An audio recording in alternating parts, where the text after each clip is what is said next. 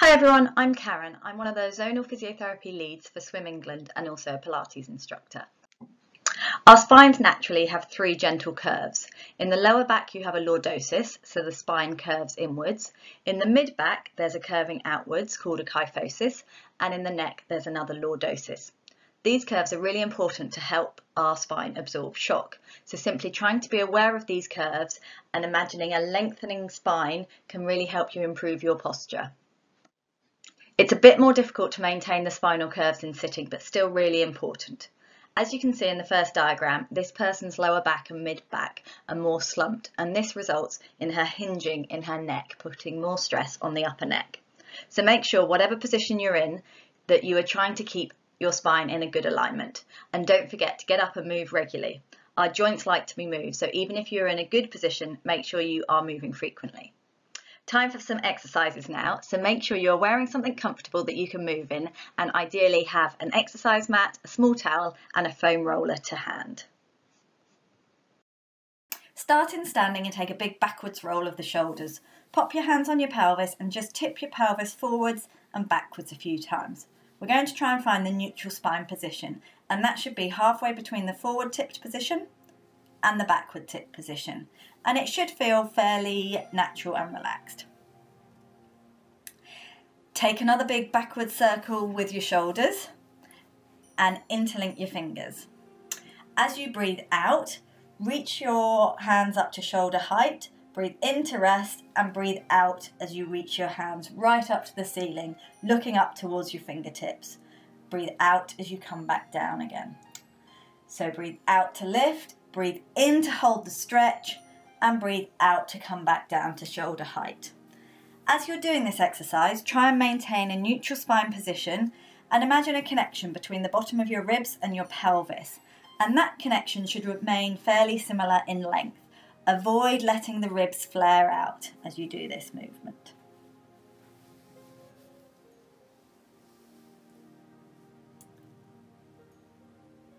As you breathe out this time, stretch both arms up above your head. Then you're going to stretch alternate hands up towards the ceiling. So reach with one hand, breathe in to hold it, and breathe out as you stretch to the other side. You should feel a good stretch down through the side of your trunk on this exercise. I will talk you through the recommended breathing, but don't worry if you don't get it quite right. Just try and avoid holding your breath. Okay, we're going to do some roll downs now. So come to one end of your mat and start with that neutral spine position and just start with the upper neck, tuck your chin in and roll down towards the floor. Take a breath in when you get there, and as you breathe out, tuck the pelvis underneath first and try and roll back up one segment of the spine at the time. The neck should be the last thing to come back up.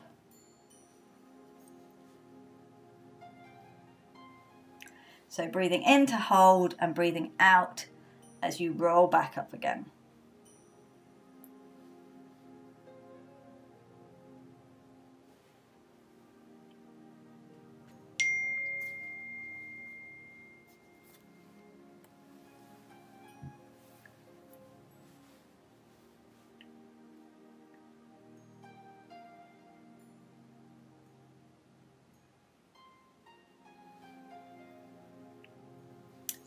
Just hang and have a stretch in that position for a moment, and then when you're ready, bring yourself down onto all fours on the mat. Step one leg between your two hands and interlink the thumbs to stretch up and back. Push your pelvis forward, stretching out your hip flexors, and then come back into a hamstring stretch. As you stretch backwards, try and keep the back long.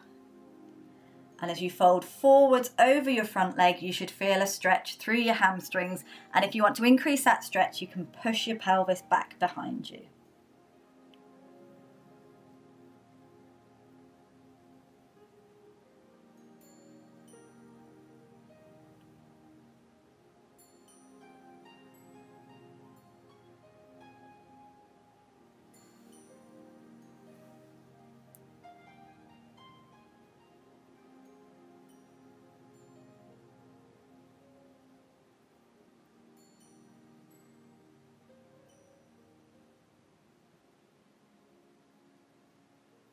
Come back to all fours and then switch legs. So same again, interlinking the thumbs, reach backwards and push your pelvis forwards to feel a good stretch through your hip flexors. And lean forwards over the front leg to feel a hamstring stretch. Keep going in your own time, but remember to breathe.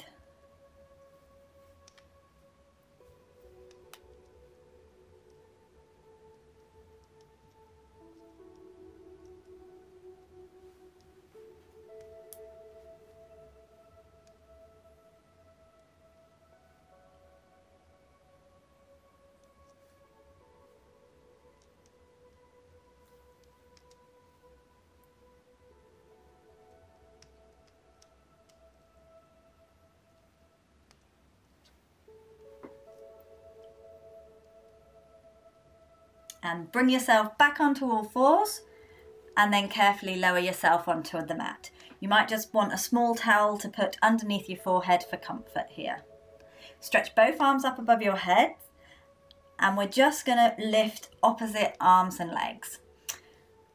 So just to remind you of the breathing on this one, you're going to breathe out as you lift, breathe in to hold and breathe out as you lower.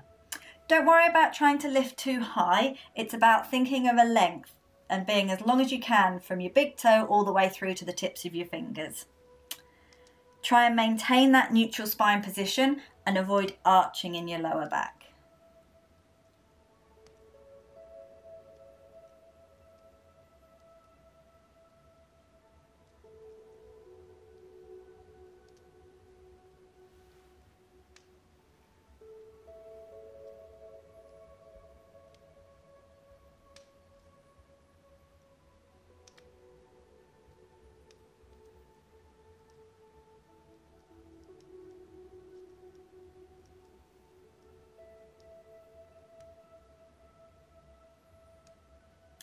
Pop your hands under your shoulders and just carefully arch backwards. This is a really nice stretch for your upper back.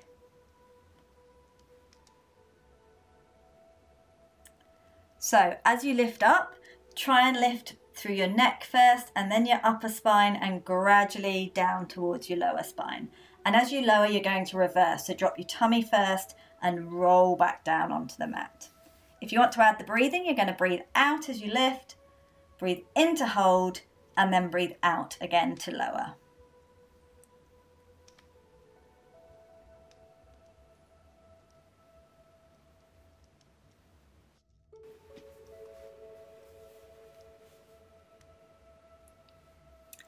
Take your knees wide and sit back onto your heels, stretching through your back. Take a few breaths in this position.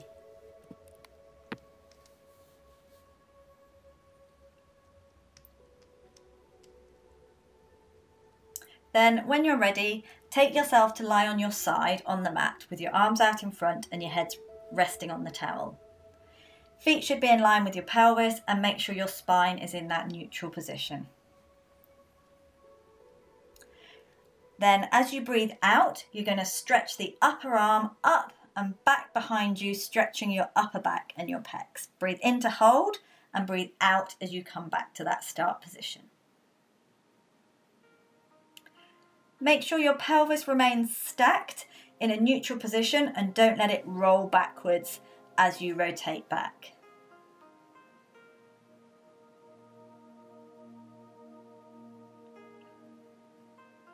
It can help if you imagine that you're pushing the pelvis on the upper side forwards to resist that temptation for it to roll backwards.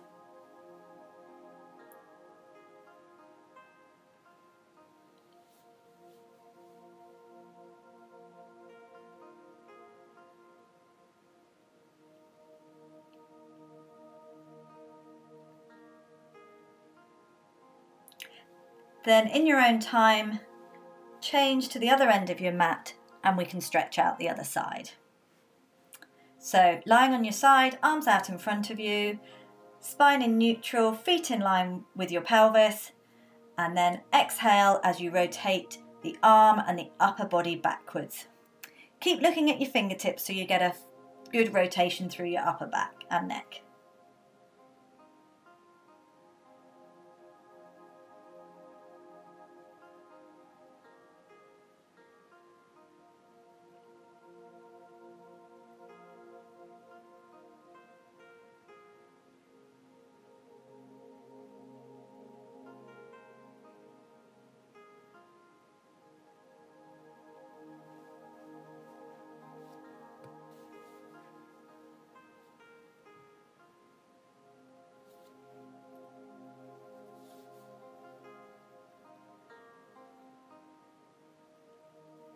Then move the towel out the way and bring yourself to lie on your back. Knees bent, feet flat on the floor. Make sure your spine is in that neutral spine position and your hips, knees and feet are all in a parallel line. Relax your arms down by the side and we're going to start with some bridging. So tip your pelvis backwards and peel your spine one vertebra at a time up so that you're resting on the shoulders. And as you lower, lower your upper back first, rolling back down. So breathe out to lift, breathe in to hold, and breathe out as you roll back down again.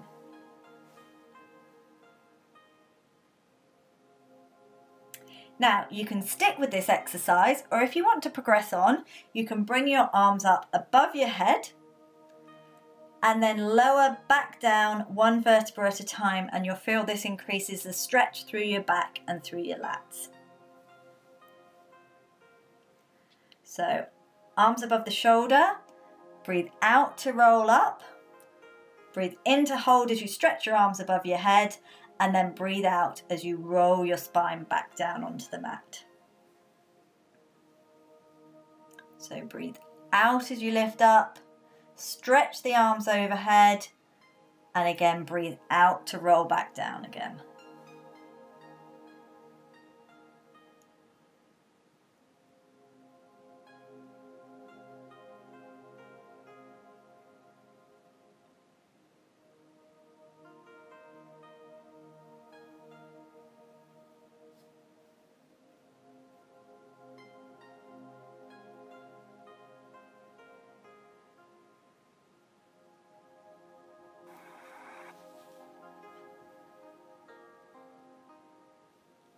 Bring yourself up into a sitting position, knees bent and feet resting on the floor.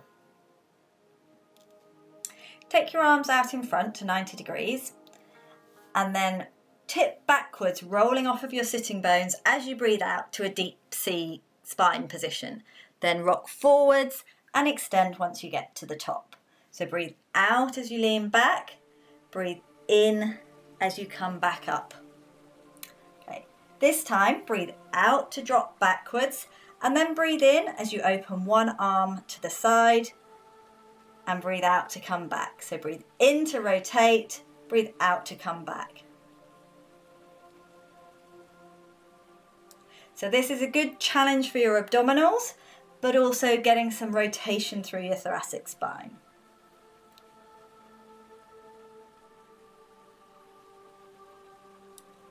Let's do another set like that. So lean back and open up with one arm, stretch behind as far as you can.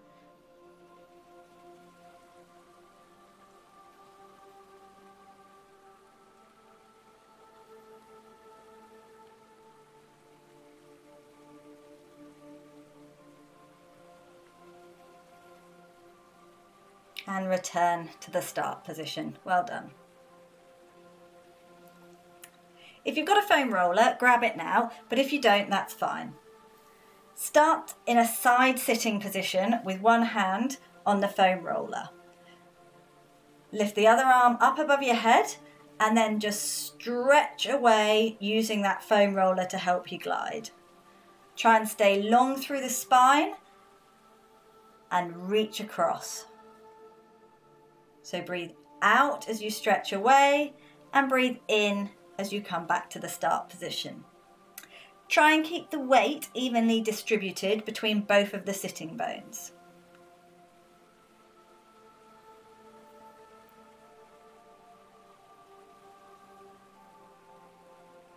Just going to change it slightly now. So stretch across and then pop the other hand on the foam roller as well.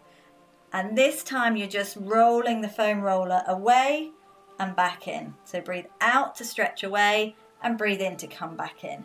And you should start to feel a really nice stretch through your lats in this position.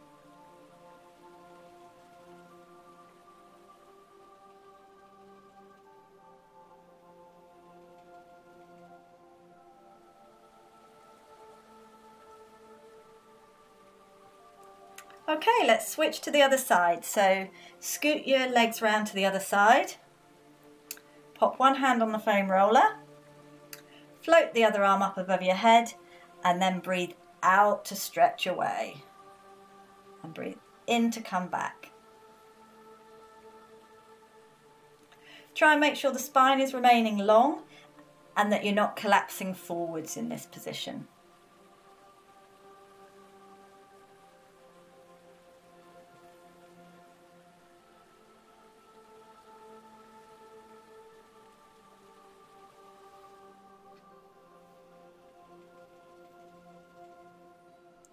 Then rotate around, pop both hands on the foam roller and just breathe out as you stretch away and breathe in as you draw the foam roller back towards you.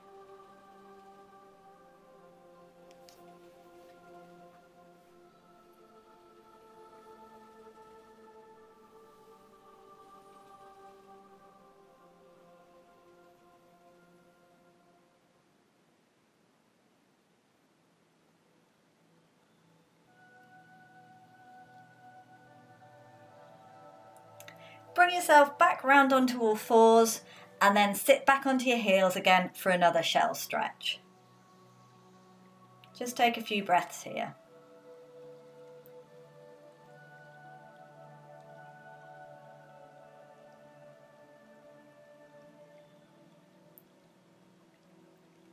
Now come back onto all fours, tuck your toes under, come up onto your feet and carefully roll yourself back up into a standing position.